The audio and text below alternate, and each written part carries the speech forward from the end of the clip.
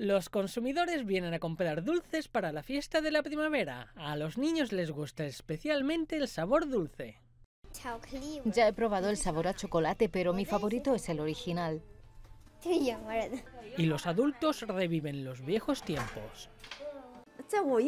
Cuando era pequeña, los caramelos del conejo blanco no eran algo que podíamos comer en días normales. Normalmente comíamos caramelos de fruta y solo podíamos tomar caramelos del conejo blanco durante las fiestas.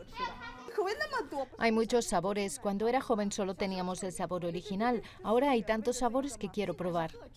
Café, durian, mostaza, la marca de caramelos ha lanzado una gran variedad de sabores. También ha diseñado otros productos con la imagen del conejo blanco.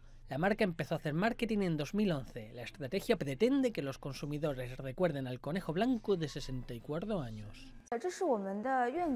Nuestra esperanza y objetivo es atraer a más consumidores jóvenes. Esperamos que nuestro marketing cruzado aporte nuevas sensaciones a los jóvenes y les haga saber que una marca tradicional también puede hacer cosas divertidas. Este es el año del conejo, por ello la marca White Rabbit ha cooperado con una marca de moda para poner su imagen en bolsos, zapatos y jerseys.